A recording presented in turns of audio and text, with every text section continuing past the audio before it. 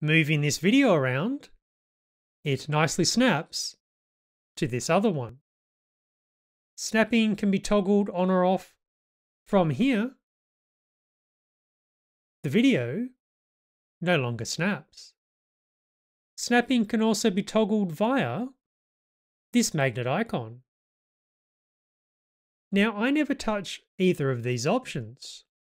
So why does snapping sometimes get turned off? The keyboard shortcut to toggle snapping is S.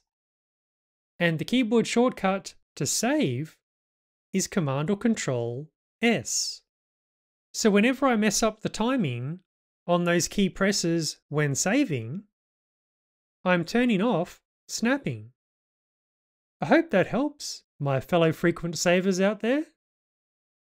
Catch you later.